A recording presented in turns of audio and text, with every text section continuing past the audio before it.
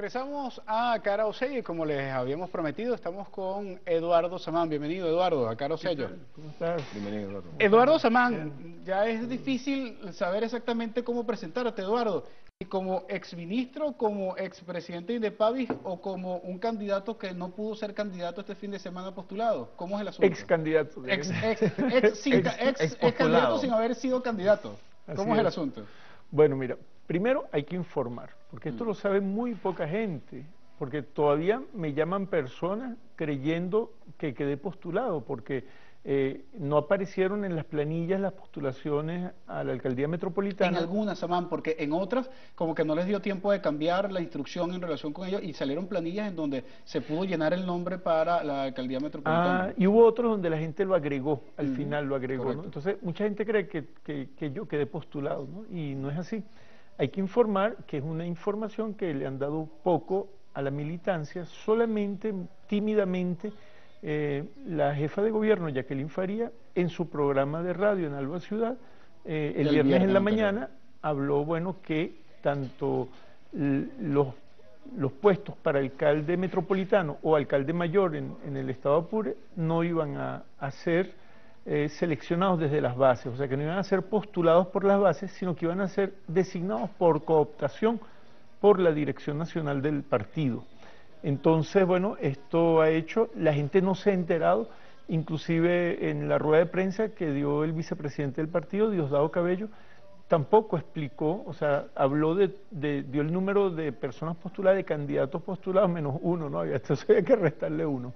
Eh, pero no dijo que, ese cargo no se iba a someter a, la, a la consideración de la militancia, ¿no?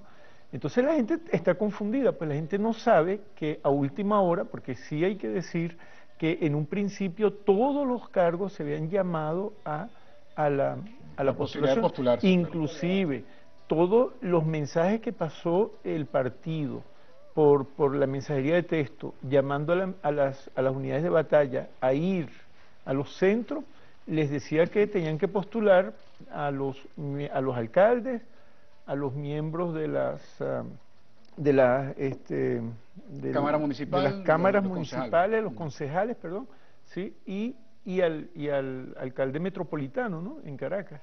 Y bueno, luego este un día antes del inicio de las postulaciones, o sea, yo no diría un día antes, yo diría en todo el medio de las postulaciones porque desde el miércoles las unidades se reunían y empezaban a asomar y a discutir, a asomar nombres.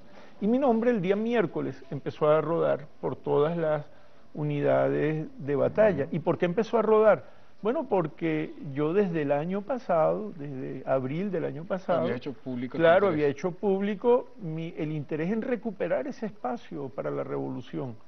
Y entonces, bueno, la gente quedó eso en memoria y la gente empezó a postularme, me empezaron a llamar para pedirme la cédula porque se requería la cédula, pues. Y bueno, pero masivamente desde el municipio Libertador, el municipio Sucre, muchísima gente del municipio Sucre, Petar, el Marqués, sobre todo clase media, me empezaba a llamar para pedirme la cédula. Ahora, Eduardo, disculpe, ¿y cuál es la explicación? ¿Qué razón se da a usted mismo y, nos puede dar a nosotros y a nuestras amigas y amigos que nos siguen, eh, de ese limbo en el que usted se encuentra en estos momentos. Está postulado, pero no está postulado, eh, fue sacado de las listas, pero a la vez no lo informan, no informan las razones, porque eso también me recuerda mucho que dos días antes, 48 horas antes, y lo dijimos acá en el programa, de celebrarse las elecciones, pues entonces se decide de buenas a primeras el método de la cooptación para elegir a los candidatos, a los precandidatos para la alcaldía metropolitana de acá, eh, de Caracas, y la... Eh, ¿A qué cree usted que se debe ese tipo de manejo en el PSUV? Precisamente cuando está haciendo un esfuerzo y la militancia está haciendo un esfuerzo por convencerse y por, por, por, por llevar adelante un proceso democrático por las bases. Mira, es difícil explicarlo, porque en el periodo pasado, cuando fue, cuando optó Aristóbulo Isturiz, ese cargo se llamó a elecciones, o sea, se llamó a primaria, y Aristóbulo ganó casi con un 94% de, los votos de las bases, este, casi 129 mil votos sacó Aristóbulo en, ese entonces. Entonces, Bueno, es un cargo que ya en una oportunidad fue llamado a las bases, fue llamado a, las, eh, este, a la consideración de las bases y ahora, bueno, extraña mucho, ¿no? Extraña mucho. Yo digo, bueno, será porque mi nombre apareció, apareció este, anticipadamente, ¿no? Y por qué, bueno, no, no, o sea, que eso es legítimo que aparezca en el momento en que las bases deciden discutir o proponer, ¿no? Ahora fíjate, eso, eso tiene molesta a la gente. Eso tiene molesta, muy molesta a la gente. Se ha manifestado a través del Twitter, a través de los programas, diferentes programas de radio, llamadas a los programas de, de televisión, de radio, y no solamente en Caracas, ¿no? sino que esto ya está tomando como una está tomando un ámbito nacional, porque ya son en todos los estados. Eso es también lo que le iba a preguntar, porque si ese es el caso que conocemos, que lo tenemos usted acá al lado el día de hoy, eh, ¿cuántos otros casos similares no habrán ocurrido o estarán ocurriendo en el resto del país o acá mismo en el área metropolitana acerca de postulados que entonces de buenas a primeras pues decidieron borrarse de la lista o borrarlos de la lista? No, bueno, de los de de borrar gente de la lista, o sea, yo no he escuchado, ¿no? Eh, sino que lo que se ha escuchado es que en algunos municipios los alcaldes que están ejerciendo el, el, poder eh, han coaccionado pues a las, eh, a las unidades de batalla y les han dicho, bueno, aquí hay una línea, tienen que, la línea es esta, tienen que respetar la línea, ¿no? Y se han impuesto. Entonces, esas prácticas, ¿verdad? Que son, que hay que combatirlas y hay que denunciarlas, este, tiene descontento a, cierta, a ciertos sectores de la militancia. Ahora, también se ha señalado eh, por algunas vías que el asunto es contra ti, ¿vale? O sea, eh, se ha, se ha generado también algunos artículos por aporrea en donde se señala que por qué eh, Samán se ha convertido como una piedrita en el zapato eh, y por qué se busca entonces impedir la posibilidad de una postulación como la de Samán. ¿Tú crees que sea contra ti? Y si es así, ¿por qué? Vamos a hacer una cosa. Vamos a hacer una pausa respectiva a esta hora y dejamos esa pregunta para el próximo segmento. Ya regresamos, a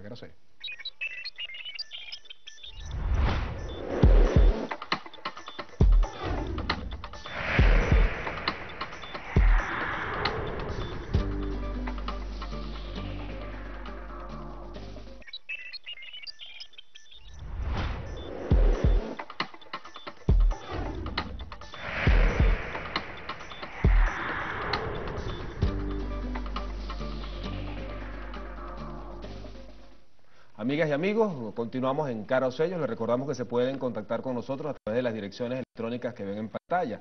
Y bueno, continuamos con este segmento en compañía de Eduardo Samán, con quien Nimmer dejó planteada una, una muy buena interrogante acerca de el limbo en la postulación en la cual usted se encuentra. Nimmer preguntaba si era una situación que usted podía explicarla como un asunto personal contra usted porque amenaza algunos intereses, a lo mejor en el partido, de gente que no desea que otras personas distintas a los que están en los estamentos de poder pues se postule o simplemente usted considera que es algo fortuito o azaroso. Además, Samán, a ti para las, para las internas a la Asamblea Nacional también se te limitó la posibilidad de que tú te postularas como diputado en las internas para, para ser diputado. Sí, hubo, hubo una, un, contratiempo que después de eso, bueno, yo decidí no, no participar, ¿no? Pero hubo un contratiempo en la inscripción. en este caso, yo espero que no sea nada personal, porque aquí no se trata de algo personal, o sea, de, un problema particular, ¿no? Sino que esto es un asunto político. O sea, aquí podría ser por, por, por razones políticas, ¿no? Pero yo espero, porque yo no, no, yo no tengo trato personal con los miembros de la, de la de la Dirección Nacional, por lo tanto no hay nada personal, o sea, no hay nada personal, digo yo, que ¿Y cuál es el ámbito estricto personal. Ahora, fíjate, el tema personal hay un hay un reconocimiento por parte de las bases en relación a la gestión. Por eso lo postularon. yo vengo por una yo vengo de una gestión donde cuando yo asumí el, el INDECU, antiguo INDEPAVIS, eh, en febrero del 2008, bueno, nosotros empezamos a darle palo a la inflación y tú puedes buscar los datos del Banco Central de Venezuela y los dos años, o sea, yo entré en febrero del 2008 eh, en marzo del 2009, como ministro de Comercio, fui asignado por el, por el comandante Chávez, ministro de Comercio, y luego salí en febrero del, del 2010. Si tú buscas de febrero del 2008 al febrero del 2010, en esos dos años, los, los valores de IPC, del índice de precio del consumidor, fueron los más bajos de los últimos 10 años. Es decir, que nosotros estamos pendientes de combatir el tema. Todo el componente especulativo de la inflación nosotros lo, bajamos, porque el tema de la inflación no es nada más. O sea, la especulación es un componente importante, pero hay otros componentes que tienen que ver con la producción, tienen, son, son más factores los que intervienen. Pero por lo menos ese componente, desde el INDEPAVI, fue combatido y hay un reconocimiento por parte de la población, no solamente de los, eh, de los adeptos al al, chavismo, al, presidente, el comandante Chávez, sino de las personas que simpatizan con la oposición. Este, hay, tienen, reconocen esa gestión pues que, tuvimos tanto en el INDEPAVIS como en el Ministerio de Comercio. Entonces, bueno, eh, inclusive las políticas fueron correctas, o sea, no aplicamos políticas incorrectas. El vicepresidente del partido, Diosdado Cabello, acaba de, en la rueda de prensa, acaba de decir que el partido se va a incorporar a la lucha contra la especulación y el acaparamiento. Bueno, en el año 2008, en mayo del 2008, nosotros llamamos a que nos den 5.000 funcionarios del, en comisión de servicio, pero que sean militantes del partido. Y eso fue detenido en ese entonces, porque no era conveniente, ¿no? Fue que era inconveniente incorporar al partido. Bueno, si nosotros hubiésemos fortalecido esa institución, porque el INDEPAI lo que tiene son 250 fiscales a nivel nacional, tiene un total de 400 trabajadores a nivel nacional, toda la institución, 250 fiscales, 10 fiscales en promedio. Y cuando el SEñA tiene 8.000 fiscales a nivel nacional, compara 250 con 8.000.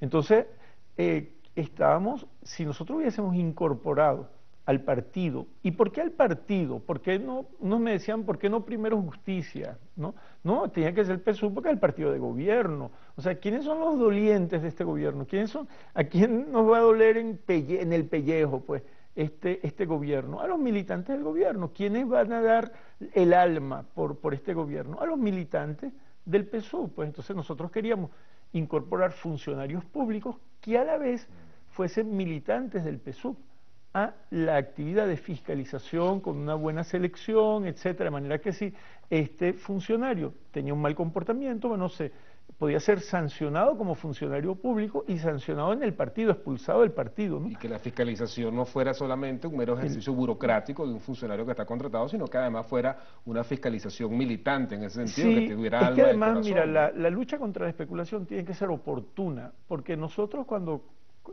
sabes que en enero hay una costumbre mm. que el, muchos comercios, los primeros días de enero, lo dedican a remarcar los productos que quedaron. Entonces, eh, nosotros comenzamos la fiscalización el 2 de enero, o sea, apenas descansamos el 1 de enero, el 2 de enero ya estábamos fiscalizando. Ya en el primer mes de enero, ya por lo menos habíamos levantado entre 1.200 y 1.500 procedimientos contra, contra establecimientos que habían este, habían remarcado los precios de los productos, etcétera. Y entonces no se atrevían porque ellos veían que los comerciantes que el 2 de enero ya el INDEPAVI estaba desplegado este, chequeando precios.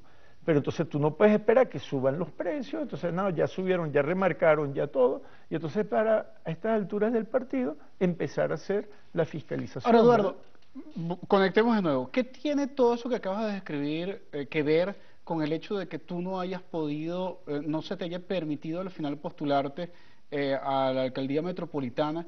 Y en otro caso, ¿por qué si no se te impidió en ese nivel, por qué no lo hiciste a nivel de Libertador? No, porque fíjate, el tema es que la ciudad no se puede fragmentar. O sea, hay un tema, ya el hecho de la descentralización es una gran trampa, porque la descentralización es un método que se usó para debilitar el Estado-Nación, de manera que el, eh, se debilitaba el Estado para poder implementar todo lo que es el proceso de globalización. La globalización no es más que la, que la construcción de un Estado global, un Estado mundial sobre el Estado-nación. Entonces, para eso había que debilitar el Estado-nación y había que descentralizarlo, ¿no? Descentralizarlo para fragmentarlo, para debilitarlo. Fíjate la ciudad. fragmentada. Cinco municipios, una sola ciudad. Tú, para ir al trabajo pasas por tres municipios o cuatro municipios. Este, el, ninguno, los alcaldes son conserjes nada más. Aquí se necesita ver la ciudad en un, en un o sea, en, como entero, como algo, como algo íntegro. ¿no? Y es necesario esa alcaldía. Esa alcaldía tiene una importancia política muy grande. Lo que pasa es que el alcalde que tenemos se ha dedicado cuatro años a llorar para que le den recursos para gastar los reales. Pero el, fíjate, un tipo que llegó con, con 700 mil votos. O sea, imagínate, tú a mí pones 700 mil personas a votar por mí y qué es lo que yo no hago con, ese, con un apoyo popular. Eso es poder popular. Vamos a hacer una cosa, Samán. Vamos a una pausa respectiva a esta hora. En el próximo segmento, mm, creo que eh, podemos hablar un poco ahora ya más del área económica, en donde tú te has involucrado como ministro y con tus funciones públicas. Podemos hablar un poco de eh, esto que se está desarrollando por parte de, que ya has anticipado por parte del gobierno en relación a la necesidad de atender el asunto de la devaluación, el asunto de la especulación. Eh, ¿Cómo estás viendo tú la política en ese sentido y cómo lo conectas entonces con esa política de descentralización que también tiene mucho que ver y los roles de, los alcaldes en ese sentido? Ya regresamos a Carlos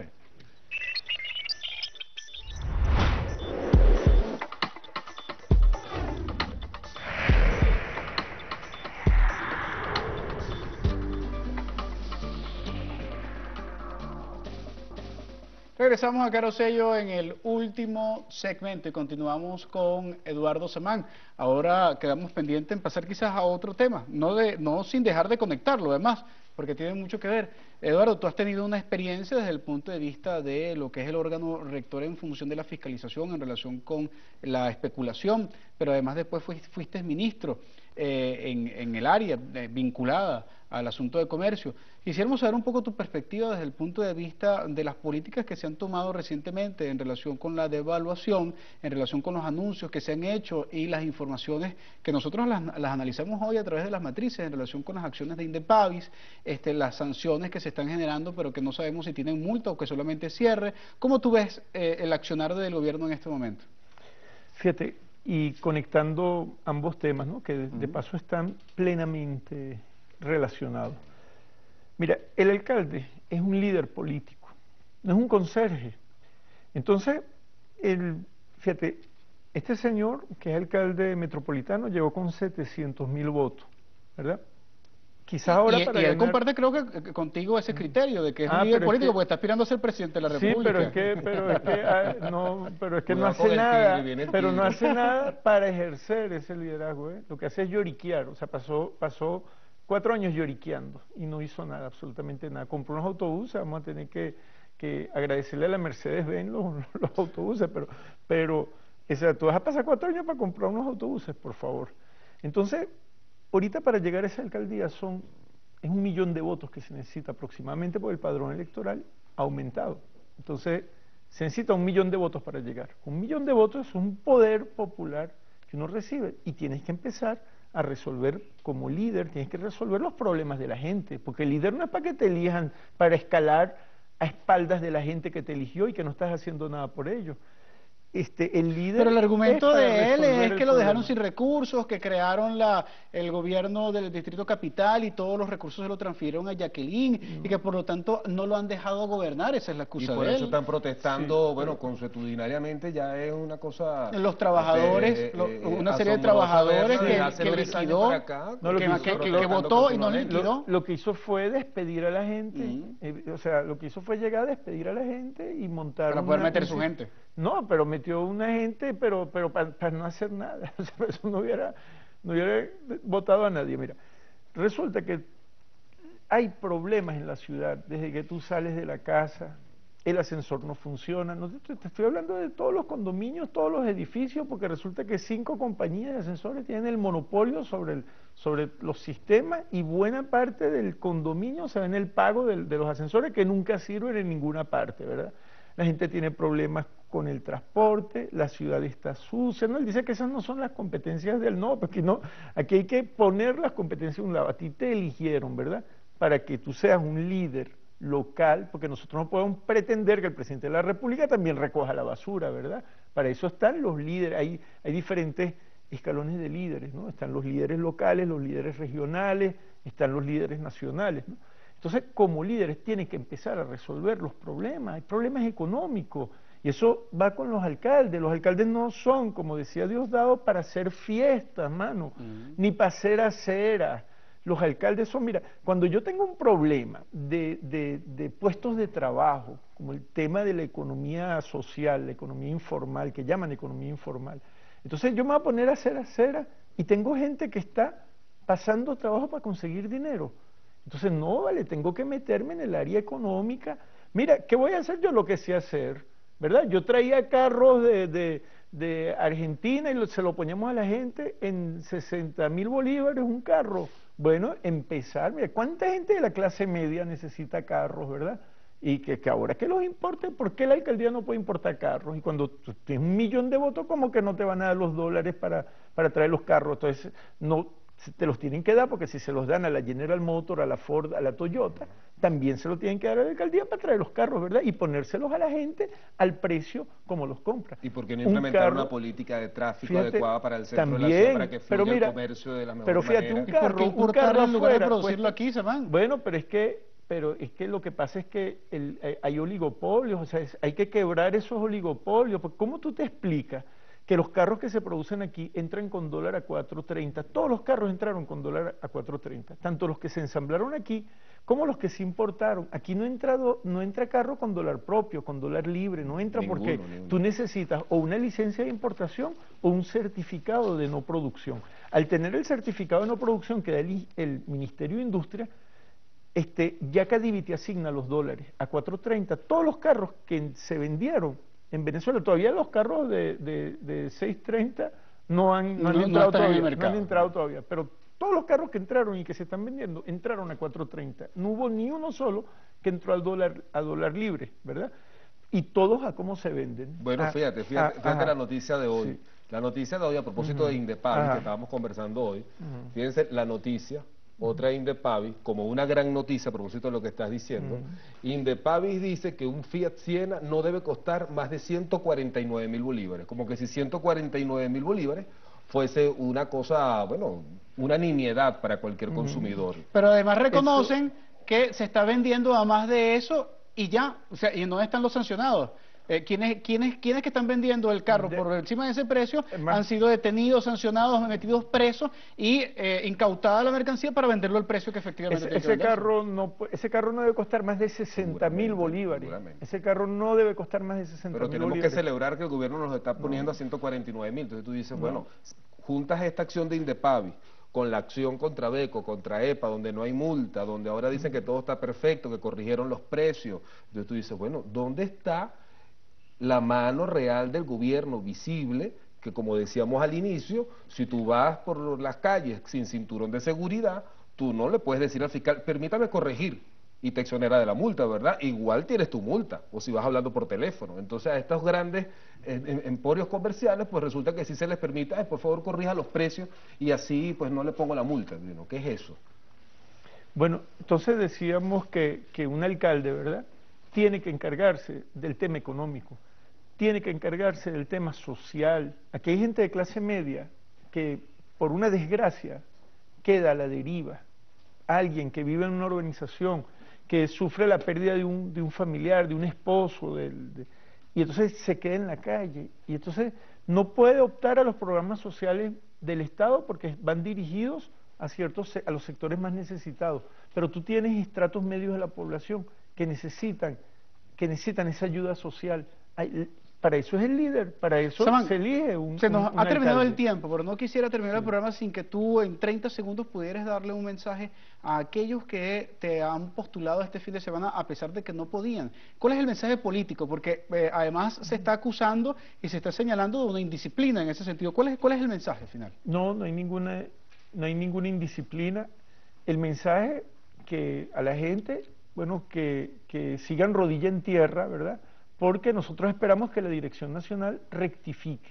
La Dirección Nacional debe rectificar esa medida. ¿Y si no rectifica, te vas del partido? No, para nada. Si, si ese es un, es un partido que uno construyó este, uno, yo lo que estoy es peleando mi puesto en el partido. ¿Cómo que me voy del partido? No, yo no me voy, ni que me voten me voy del partido. No, porque es un partido, uno tiene derecho porque uno lo construyó, pues, y uno participó, y yo me acuerdo los momentos difíciles, el golpe de Estado, el firmazo, el reafirmazo, uno dio el alma por, por, por por el partido, ¿cómo que me voy? No. Seguiremos dando el alma, Samán.